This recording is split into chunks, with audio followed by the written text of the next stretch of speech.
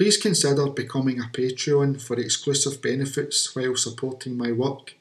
Thanks to my current Patreons. Join the Before Caledonia Facebook group. Thanks for watching and a huge thanks to our ancient ancestors.